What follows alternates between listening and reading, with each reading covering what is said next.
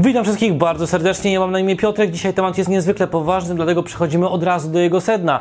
Założyłem w tym momencie koszulę, żeby podkreślić poważność tego tematu. Zrobiłem sobie nawet podwójną herbatę, to znaczy z dwóch torebek w kubku flesza, narażając się na docinki Carlosa, więc sprawę traktuję naprawdę wybitnie poważnie. Tak więc jedziemy do tematu, co jest nie tak z rynkiem gier planszowych w Polsce. Kurna, sznurek. Okej, teraz absolutnie nie myślcie, że będę wieszczył jakoś niesamowity koniec rynku gier planszowych, czy po raz kolejny będę śmiał, akurat to dobre, z sformułowania renesans gier planszowych. Nie, to nie jest tak, że polski rynek to kupa, no w jakikolwiek sposób e, jest on uznawany na świecie, aczkolwiek też musicie mi uwierzyć, mniej lub bardziej na słowo, osobie, która się obraca wśród wydawców, autorów gier, którzy doskonale sobie zdają sprawę, że widać pewne symptomy załamania, jak również to, że no, nie jest też tak różowo, jak co po niektórzy starają się myśleć, ludzie obracający się w środowisku, ludzi, którzy grają, więc skoro y, wszyscy ci, którzy wokół mnie grają, w tym razie wszyscy w Polsce grają i, i w ogóle każdy ma w Polsce y, jakąś podręczną biblioteczkę y, gier i na pewno każdy gra w Twilight Imperium. No po prostu tak nie jest i nie, nie mówmy tak. Rynek to pewnego rodzaju tort. O tak, to akurat dobre porównanie. Tort, który fajnie, żeby się powiększał. Od pewnego czasu ten tort się nie powiększa, a mamy coraz więcej osób, które z tego tortu chcą skorzystać. No i zachowania poszczególnych wydawców przy takim, można powiedzieć, nastawieniu do tego tortu są bardzo, ale to bardzo różne. Tylko co możemy i w jaki sposób możemy w tym zmienić dlaczego tak po prostu jest? Ok, to w tym momencie jest ten moment, kiedy robię inteligentną minę i mówię Wam, że zaczynamy gadać o problemie. Pierwszy problem to dość schematyczny plan reklamowy, a ten plan reklamowy wygląda troszeczkę jak plan e, Święta Narodowego. Otóż Święto Narodowe w Polsce wygląda w ten sposób. Msza przemówienie mądrej głowy, starcia zwolenników i przeciwników, żeby wiadomości miały o czym gadać wieczorem. One mogą się spierać słownie, ewentualnie mogą się prać po ryjach, będzie jeszcze fajniej. Później puszczamy jakiś mniej lub bardziej patriotyczny film, koniec, bach, możemy iść sobie dalej. I tak wyglądają święta w Polsce. My po prostu uwielbiamy schematy. Tak samo jeśli chodzi o plan reklamowy, no bo co? Coś tam na Facebooku, coś tam na YouTubie wrzucimy, e, coś tam poprosimy o jakieś lajki na BGG, wow, fantastycznie, jeśli grę wydajemy na zewnątrz, dawaj, później wypuszczamy egzemplarze recenzenckie do darmowej siły roboczej, która tak naprawdę gwarantuje gwarantuje wydawcom największy zasięg, jaki są w stanie zrobić. E, potem pojawimy się czasami na jakichś mniejszych czy większych konwentach. No i. No i już. To wszystko. Kolejny problem jest taki, że nasz rynek jest po prostu mały. Jakoś nie widzę specjalnie e, chętnych, którzy chcą wyłożyć, nie wiem, pieniądze e, czy roboczo godziny na to, żeby ten rynek jakikolwiek rozszerzyć, ale osób, które chcą z niego korzystać, o, spokojnie, jest i jest coraz więcej. Być może dlatego mamy takie spaczone pojęcie, że ten rynek jest duży. No bo tyle osób chce z niego korzystać, no to na pewno, na pewno musi być duży. No niestety te osoby się czasami bardzo brutalnie doświadczają tego na własnej skórze, jaki ten rynek rzeczywiście jest. Skutkuje to dość patologiczną sytuacją, gdzie polscy polscy wydawcy e, wyjeżdżają za granicę, tylko nie w sensie polski wydawca jedzie sobie za granicę, bo to akurat jest normalne i fajne, można sobie zobaczyć, dowiedzieć, poznać różnych ciekawych ludzi, ale polscy wydawcy e, po prostu nawet nie wydają gier w Polsce, tylko od razu są, jest firma w Polsce, a on koncentruje swoją działalność za granicą. To nie jest naturalna konsekwencja rozwoju firmy, bo jak firma zaczyna w jakimś kraju A, to myślcie, żeby sprzedawać swoje produkty do kraju B. Nie, nasi wydawcy po prostu, sorry, spieprzają z tego rynku cebuli, ponieważ po prostu wolą wydawać te gry swoje gdzie indziej, ponieważ mają towar dopasowany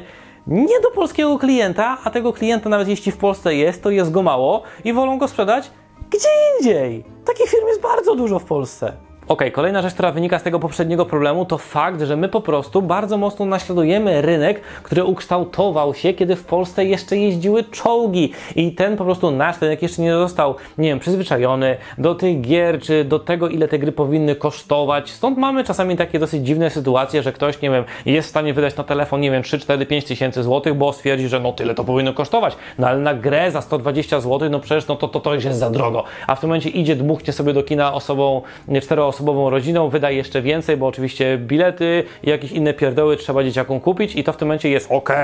No wiecie, to jest taka dosyć specyficzna sytuacja, ale jeszcze taka jedna anegdotka odnośnie tego. Strasznie rozbawił mnie jeden z polskich wydawców ostatnio, który ogłosił wielki sukces swojej tam jakiejś gry, gdzie sprzedali tam 48, tam 96, nie, ma, nie mam pojęcia, nie pamiętam. E, sprzedali swoją cały nakład całej gry. Wow! Tylko wiecie, jeśli chodzi o sprzedaż, mamy no, klasycznie takie trzy grupy. Mamy tego, kto produkuje, tego, kto jest hurtownikiem i tego, kto jest detalistą, ostatecznym klientem. I tak naprawdę ten wydawca sprzedał do hurtowni, a detalistyczny klient po prostu może przejść obok tej gry i powiedzieć: Mam to w dupie, nie kupię tego. I co mi zrobisz? Ale już informacja do internetu poszła, gra jest na pewno dobra. To się zobaczy.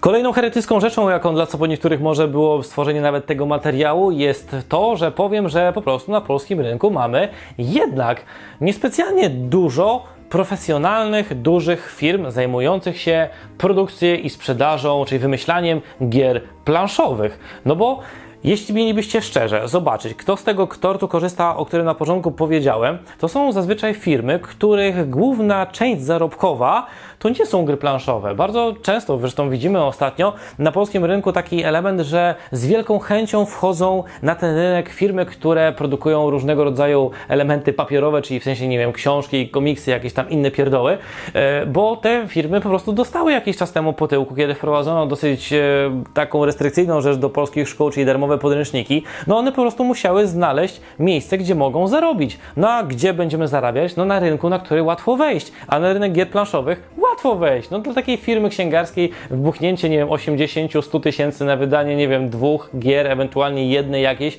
lub kilku, a znam takie wydawnictwa, kilku bardzo słabej jakości i wypuszczenie tego na rynek i po prostu zawalenie półek w supermarketach, ewentualnie w jakichś tam salonikach prasowych, jest to bardzo prosta czynność, no ale to nie o to tu chodzi. I ostatni problem naszego ryneczku to to, że wiele osób traktuje taki element, i teraz powiem to straszne słowo, zarobek i pieniądz na hobby jako niesamowity grzech śmiertelny, bo jakim prawem wydawca bierze moje ciężko zarobione pieniądze w takiej, a nie innej liczbie, ponieważ to powinno kosztować inaczej. Uwielbiam przeświadczenie, co po niektórych ludzi, yy, którzy doskonale znają się w elementach rynkowych i wiedzą, ile coś powinno kosztować. No przecież tak po prostu nie wolno. Yy, tak samo yy, też taka rzecz, która co po niektórzy nie wiem, święci też się wypowiadają, no jakim prawem mamy robić taką obrzydliwą rzecz, czyli zapłacić jakiemuś serwisowi, czy, czy vlogerowi, czy blogerowi za jego pracę. No przecież tak się nie robi. Kurde, jesteśmy chyba pod tym względem najbardziej cebulowym rynkiem. Jakiś czas temu, nie wiem, goszczony u nas e, Michał Baniak z kanału Baniak Baniaka, świetny człowiek, e, któremu rzeczywiście zawdzięczają gry RPG, bardzo fajny, ciekawy renesans i oczywiście wielu jeszcze innym ludziom. Ma mniejszy kanał od naszego, kosi co, nie wiem, miesiąc ze swojego Patronite'a 11 tysięcy złotych. Nikomu to nie przeszkadza, Michał może się poświęcić w 100% tej pracy, stąd ten kanał wygląda jego tak jak wygląda. U nas świętość największa, absolutnie ludzie strzegą e, takiego honoru w, w logo blogerów i wydawców i starają się, żeby oni, broń Boże, dużo nie zarobili. Stąd nie dziwmy się, że rynek wygląda taka, jak, e, taka nie inaczej i że ma taki poziom profesjonalizacji, jaki po prostu ma.